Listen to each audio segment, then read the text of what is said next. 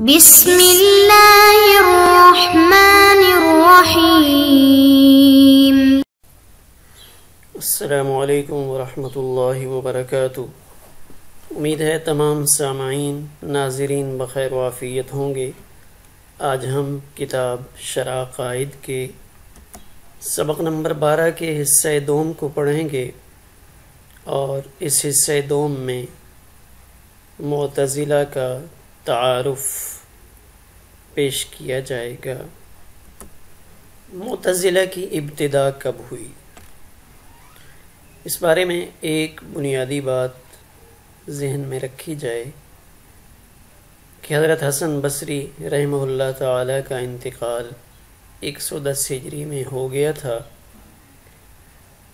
तो ऐसे मालूम होता है कि इससे पहले इसके कुछ अफराद पाए गए। चूँकि जो वाक़ मतज़िला की इब्तदा का मरूफ़ है, वो वाक़ हज़रत हसन बसरी रहमल्ला ताला की मजलिस से मुतक़ है। कि एक दफ़ा इमाम हसन बसरी रहमल्ला ताला अपने सबक में मौजूद थे तो बाहर से एक साहिब आए और आकर उन्होंने सवाल किया कि कुछ लोग कहते हैं कि गुनाह कबीरा का मरतकब काफिर हो जाता है, जैसा कि खारिज का मज़हब है। और कुछ लोग ये कहते हैं कि अगर आदमी ईमान रखता हो तो मासीत से कोई नुकसान नहीं। ये मुरजिया का मज़हब है। इस सिलसिला में आप कोई फ़ैसला कन बात फरमा दीजिए। तो हज़रत हसन बसरी रहमल्ला अभी गौर फरमा रहे थे, उन्होंने कोई जवाब नहीं दिया था। तो आपके शागिर्दों में से एक शख्स वासिल इबन आता खड़े हो गए और उन्होंने कहा कि मैं कहता हूँ, गुनाह कबीरा का मरतकब ना काफिर है और ना मुसलमान, बल्कि इन दोनों के दर्जा के दरमियान में है। हज़रत हसन बसरी रहमल्ला ताला इस जवाब को सुनकर खफा हुए और फरमाया, ए तज़िलान्ना कि आप मेरी मजलिस से चले जाओ या बाज़ मौरखीन नकल करते हैं एतज़लन्ना वासिलु, कि वासिल तो हमसे अलहदा हो गए। तो उस वक़्त वासिल इबन आता के साथ निकलने वालों में अमर इबन उबैद भी एक नाम है। बाज़ मौरखीन ने यूँ भी नकल किया कि जब वासिल इबन आता हज़रत हसन बसरी रहमल्ला की मजलिस से जुदा हुए तो उस वक़्त अमर इबन उबैद ने पैरवी करते हुए कहा अलक़ौलक व इन्नी तज़ल तो मज़हब हसन। यानी मैंने हज़रत हसन के मज़हब से अलहदगी इख्तियार की। तो इस बुनियाद पे इनको मतज़िला कहा जाता है। एक और वाक़ भी मतज़िला से मुतल नकल किया जाता है कि हज़रत क़तादा इबन दामा असदूसी अलहाफिज़, जो साठ या इकसठ हिजरी में पैदा हुए थे जलील कदर ताबईन में से हैं। तो कहते हैं, ये नाबीना थे और बसरा में ख़ुद चलते फिरते रहते थे। बग़ैर रहबर के आ जाते थे तो एक दफ़ा मस्जिद में पहुँचे, वहाँ इबन उबैद बैठे थे। और उसी वक़्त में उन लोगों ने हज़रत हसन बसरी रहमल्ला का हल्का छोड़कर अपना जुदा हल्का कायम किया था। इनकी आवाज़ सुनकर कतादा समझे कि ये हज़रत हसन बसरी का हल्का है। जब करीब आए तो असल हाल मालूम हुआ तो उस वक़्त बेसाख्ता इनकी ज़बान से निकला। हा उलामतज़िलतु तो इस दिन से यही लक़ब इनका मशहूर हो गया। ये भी एक वजह तस्मिया बयान की जाती है। मतज़िला अपने आप को इस नाम से कहलवाने पर फ़ख्र महसूस करते हैं। चनाचे काजी अब्दुल जब्बार मतज़िली जो अकाबरीन मतज़िला में से हैं, वो ये कहते हैं कि कुरान मजीद में जहाँ भी लफ्ज़ एतज़ाल इस्तेमाल हुआ है, उससे मुराद बातिल से हट कर हक की तरफ़ आना है। लिहाजा एतज़ाल के नाम से मौसूम होना एक काबिल मदा चीज़ है। लेकिन उनका कुलिया इस आयत से टूट जाता है, जिस आयत में ये अल्लाह ताला का फरमान गिरामी है फ़िल्म तो उमिनूली फ़ातज़िलून। तो इसमें यहाँ एतज़ाल से मुराद ईमान से अलीहदगी है, जो आन कुफर है। लिहाजा ये आयत उनके ख़िलाफ़ जाती है। मतज़िला को इब्तदा में तो इतना अरूज हासिल नहीं हुआ, जैसा कि पहले ज़िक्र किया गया कि हज़रत हसन बसरी रहमल्ला ताला की वफ़ात से पहले ये फ़िरका वजूद में आ चुका था। लेकिन इनको अरूज हासिल हुआ खुलफ़ाए बनु अब्बास के ज़माने में और उनमें से भी खसूस मामून रशीद के दौर में कि जब मामून रशीद अपने ज़माने खिलाफत में बगदाद आया और उसने काजी याहिया इबन अक्सम उनको हुक्म दिया कि बड़े बड़े को इकट्ठा किया जाए ताकि एक इल्मी मजलिस मुनद की जाए। तो काजी याहिया इबन अक्सम, उन्होंने चालीस बड़े को मंतखब किया। तो इसमें हर गिरोह से ताल्लुक़ रखने वाले अहल इल्म मौजूद थे। फिर एक इल्मी मजलिस हर मंगल को मुनद होने लगी मर्रखीन के मुताबिक उसमें।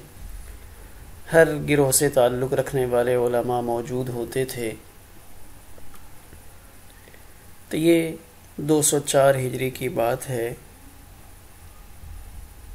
मामून रशीद अपने दौर में एक मतज़ली आलिम अहमद इबन अबी दाऊद से ज़्यादा मुतासर हुआ और उसने उनसे मुतासर होकर पूरी तरह फ़िक्र एतज़ाल को कबूल किया। तो ये दौर सरकारी सरपरस्ती में उनके अरूज का दौर कहलाता है। तो उस वक़्त में मामून ने अपनी क़वत से इस फ़िक्र को पूरी सल्तनत में नाफिज करना चाहा।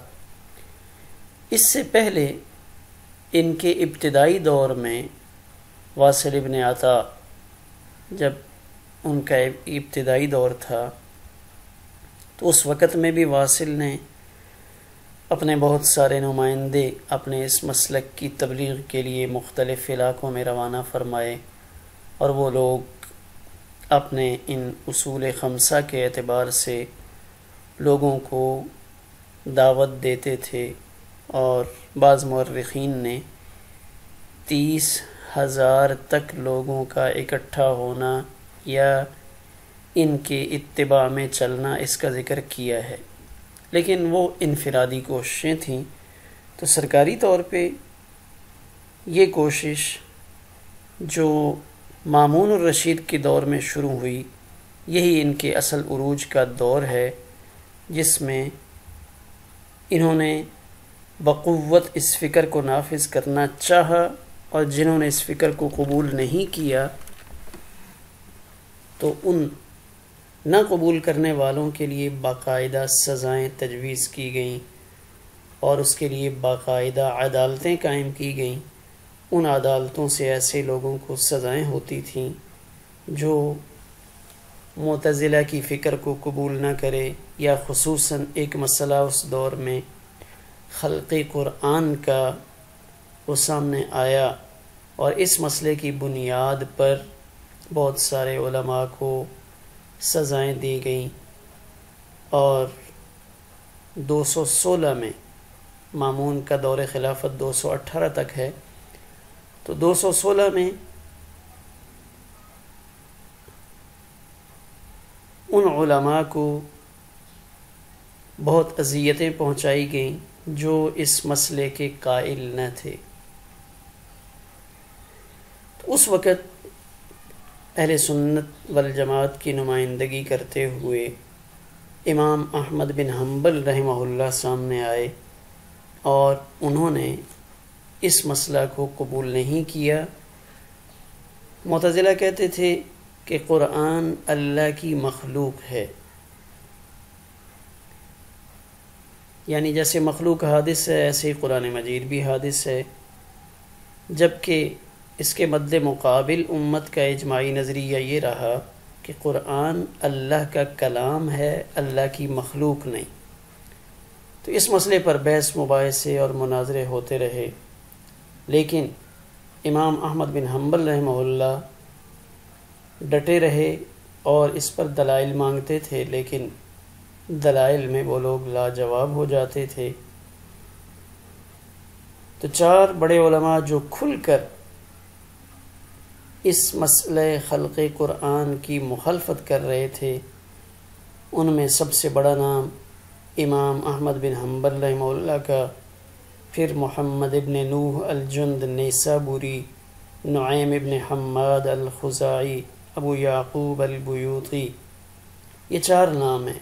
इन चारों को बाकायदा मामून के कहने पर गिरफ़्तार किया गया। और जब मामून की तरफ़ भेजा जा रहा था तो रास्ते में मोहम्मद इबन नूह उनका इंतकाल हो गया। यानी वहाँ तक नहीं पहुँच सके, जबकि बकिया तीनों हस्तियों को, यानी इमाम Ahmad bin Hanbal Nuaim ibn Hammad, Abu Yaqub Albuwaiti उनको लाया जा रहा था तो पता चला कि मामून का इंतकाल हो गया है। तो मामून के इंतकाल के बाद मोतसिम खलीफा बना। तो इमाम अहमद बिन हम्बल रहमल्ला को मोतसिम के सामने पेश किया गया। तो उस वक़्त अहमद इबन अबी दाऊद जो इस फ़िक्र के बानियों में से शुमार होते हैं या सरकारी तौर पे इसको राइज करवाने में एक बड़ा हाथ उनका था, वो मौजूद थे। तो इमाम अहमद बिन हम्बल रहमल्ला को अपना मौक़ पेश करने का मौका दिया गया और जब इमाम अहमद बिन हम्बल रहमल्ला ने दलाइल से अपनी गुफ्तु फरमाई तो खलीफा मोतसिम नरम पड़ने लगा। तो जब अहमद इबन अबी दाऊद ने देखा कि खेल तो हाथ से निकलता हुआ महसूस हो रहा है तो उसने गैरत दिलाई कि आपका पेश रो, यानी मामून रशीद, वो तो इस मसलक का बड़ा हामी था। तो कई दफ़ा ऐसा हुआ और आखिर उसने खलीफा को इतना मजबूर कर दिया कि खलीफा ने फिर इमाम अहमद बिन हम्बल रहमल्ला के लिए कोड़ों की सज़ा का हुक्म दिया। और मौरखीन कहते हैं कि वो कोड़े ऐसे लगाए जाते थे कि अगर ऐसे दो कोड़े हाथी को लगते तो हाथी भाग जाता। लेकिन इमाम अहमद बिन हम्बल रहमल्ला इस पर डटे रहे और इस इस्तकामत ने उनके नाम को शायद क़यामत तक के लिए ज़िंदा कर दिया। जबकि फ़िक्र एतज़ाल का उरूज जल्दी ख़त्म हो गया। तो मोतसम के बाद वासिक बिल्ला, वो खलीफा बना। तो वासिक बिल्ला भी इसी मामले में ज़ोर ज़बरदस्ती का कायल रहा। उसने भी ज़बरदस्ती लोगों को इस पर कायल करने की कोशिश की। यहाँ तक कि अहमद इबन नसर खुजाई उनको शहीद करवाया। लेकिन अब इनके अरूज का दौर ख़त्म हो चुका था। ज़ाहिर है, वक्त एक सा नहीं रहता। फिर मुतवक्किल बरसर इक़्तदार आया। अब जब मुतवक्किल बरसर इक़्तदार आया तो उसने मतज़िला के खल्क़ कुरान के अक़ीदा के लज़ूम को ख़त्म कर दिया, जो एक तरह से सरकारी आर्डर था कि सारे लोग इस बात को तस्लीम करें कि खल्क़ कुरान का अक़ीदा लाजमी है, यानी कुरान को अल्लाह की मखलूक कहना या अक़ीदा रखना ज़रूरी है तो उसने इस लज़ूम को भी ख़त्म किया। और जो अदालतें बनाई गई थीं, जिन अदालतों से उन लोगों को सज़ाएँ दी जाती थीं, वो अदालतें भी उसने ख़त्म करवा दी। तो ये चंद दौर थे जिसमें इनको अरूज हासिल हुआ। लेकिन मुतवक्किल के बरकरार, बरसर इक़्तदार आते ही वो अदालतें भी मअतल हो गईं और गोया कि इनका वो अरूज जो सरकारी तौर पे था, वो अपने अख्ताम को पहुँचा। मतज़िला के अंदर इल्मी शख्सियात भी हुई हैं। उनमें अबुल कासिम काबी जाहिज़ अरबी अदब का एक बड़ा नाम है। निज़ाम बिशर इबन मोतमिर इब्राहीम सैयार अबू हाशिम, अबू बकर, अहमद बिन अली काजी अब्दुल जब्बार, जो साहिब शरह उसूल खमसा के मुसनफ़ हैं, जिन्होंने मतज़िला के पाँच बुनियादी उसूल उनको तहरीर किया है। इस तरह छठी सदी हिजरी में जारुल्ला जमख्शरी साहिब तफसीर कशाफ इनका एक बड़ा इल्मी काम है। तो ये इल्मी शख्सियात इनकी हुई हैं। इनके बाद मज़ीद कोई इल्मी शख्सियत जिन्होंने बड़े पैमाने पे कोई इल्मी काम किया हो, वो नज़र नहीं आती। मतज़िला के अंदर भी कई फ़िरके हुए, बसरा और बगदाद के लिहाज से। मतज़िला की इल्मी शख्सियात मुख्तलिफ़ फ़िरक़ों में तकसीम हुई। शेख अब्दुल्कादिर बगदादी ने मतज़िला के तकरीबन बीस फ़िरक़ों का ज़िक्र किया है। तो उन फ़िरक़ों में से चंद नाम ये हैं, वासिलिया, हुजैलिया, निज़ामिया, बशरिया, काबिया, हिशामिया, जुबाइया, जाहिजिया, ख़यातिया। ये चंद नाम जो मर्रखीन ने ज़िक्र किए हैं मतज़िला के फ़िरक़ों के बताए जाते हैं। हमारा आज का सबक इसी पर मुकम्मल हुआ।